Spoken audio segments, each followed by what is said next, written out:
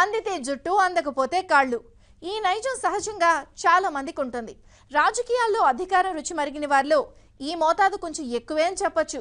Party అధికారంలో ఉంటే ఒకలా లేకపోతే మరోలా మాట్లాడుతూ ఉంటారు సదర్ నాయకులు.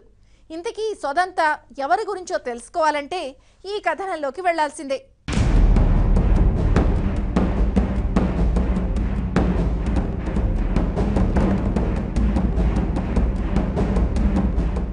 ఏరు దాటేదాకా ఏటి మల్లన్న ఏరు దాటాక బోడి మల్లన్న అన్న చందంగా ఉంది ప్రముఖ పారిశ్రామికవేత్త సినీ నిర్మాత అంబిక కృష్ణ వ్యవహారం. నిజానికి ఈ రీతిని ఉండేవారు రాజకీయాల్లో కాస్త ఎక్కువగానే ఉంటారు. అధికారంలో ఉన్నప్పుడు అన్నీ అనుభవిస్తారు. పొరపాటున తమ పార్టీ ఓడిపోతే గోడ మీద పిల్లిలా మారిపోతారు. రాత్రికి రాత్రే వేరే పార్టీకి జై కొడతారు. ఇక అక్కడితో వారు ఆగరు. వేరే పార్టీకి వెళ్తూ వెళ్తూ అప్పటి వరకు మనుగడ సాగించిన పార్టీపై నాలుగు రాళ్ళు వేసి మరీ వెళ్తారు. తమను అందలం ఎక్కించిన పార్టీ అధినేతను ఆహా ఓహో అని పొగిడిన నోటితోనే లేనిపోనివి సృష్టించి మరీ తెగుడుతారు. ఇలా వ్యవహరించే వారిలో పెద్దగా ప్రజాబలం లేని నాయకులు కూడా ఉండడం శోచనీయం. పశ్చిమ గోదావరి జిల్లా ఏలూరుకు చెందిన ప్రముఖ పారిశ్రామికవేత్త అంబికా కృష్ణ కూడా ఈ కోవకు చెందిన వారేనని టీడీపీ శ్రేణులు అంటున్నాయి.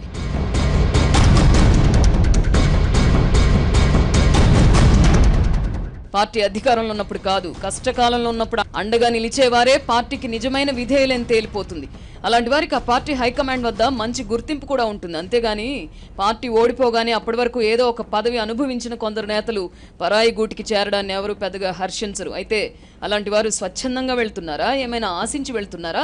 లేదా నిజంగానే అప్పటి వరకు ఉన్న పార్టీలో అగ్రనేతల వ్యవహార శైలి నచ్చక వెళ్తున్నారా అనేది తెలియని పరిస్థితి. ఇటీవల ఏలూరుకు చెందిన మాజీ ఎమ్మెల్యే అంబికా కృష్ణ కూడా టీడీపీ నుంచి బీజేపీలోకి వెళ్ళడం జిల్లా రాజకీయ వర్గాల్లో హాట్ టాపిక్గా మారింది. అయితే ఆయన తమ్ముడు అంబికా రాజా కూడా టీడీపీని వీడి ఫ్యాన్ పార్టీ పంచన చేరడం రాజకీయ వర్గాలను కొంత విస్మయానికి గురిచేసింది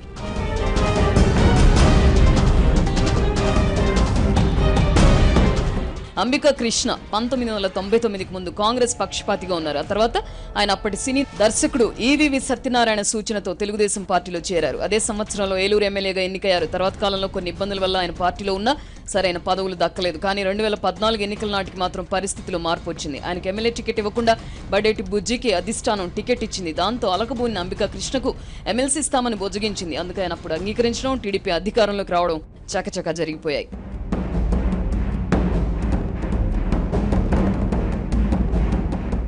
తెలుగుదేశం అధిష్టానం హామీ ఇచ్చినట్లుగా తనకు ఎమ్మెల్సీ పదవి వస్తుందని అప్పుడు అంబికా కృష్ణ ఆశించారు.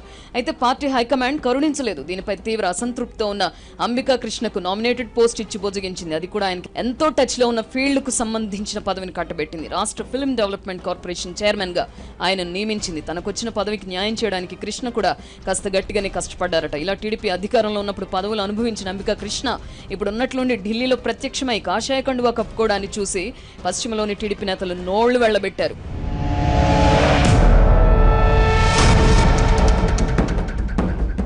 కాగా అంబికా కృష్ణ బీజేపీ తీర్థం పుచ్చుకునే సమయంలో టీడీపీ అధినేత చంద్రబాబుపై ఆయన చేసిన విమర్శలు వ్యాఖ్యలు జిల్లాలో చర్చనీయాంశంగా మారాయి బీజేపీతో లడాయొద్దు అది మన రాష్ట్రానికి మంచిది కాదు. అలా గొడవ పెట్టుకుంటే రాష్ట్ర అభివృద్ధి కుంటుపడుతుంది అని చంద్రబాబుకు తాను చాలాసార్లు చెప్పానని అంబికా కృష్ణ మీడియాకు సెలవిచ్చారు.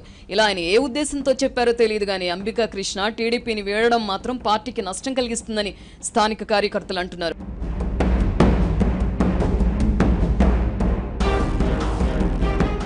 అంబికా కృష్ణ సామాజిక వర్గానికి చెందిన వారు ఏలూరులో అధిక సంఖ్యలో ఉన్నారు. వారంతా నిన్నటి వరకు టీడీపీలో తమ సామాజిక వర్గం నుంచి ఒక బలమైన నేత ఉన్నారన్న అభిప్రాయంతో ఉన్నారట.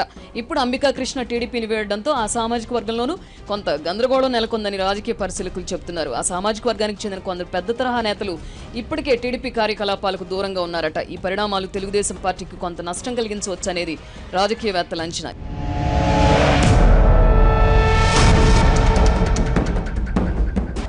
ఇదిలా ఉంటే అంబిక ఫ్యామిలీలో కృష్ణ తర్వాత ఆయన చిన్న తమ్ముడు రాజా సామాజిక కార్యక్రమాల్లో చురుగ్గా పాల్గొంటున్నారు. అయితే అంబిక రాజా తన అన్నతో పాటు బీజేపీలో కాకుండా వైఎస్ఆర్ కాంగ్రెస్ పార్టీలో చేరడం మరో ట్విస్ట్.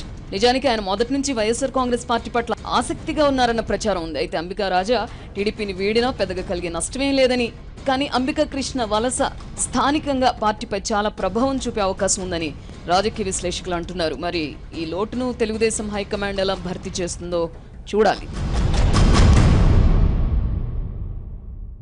ABN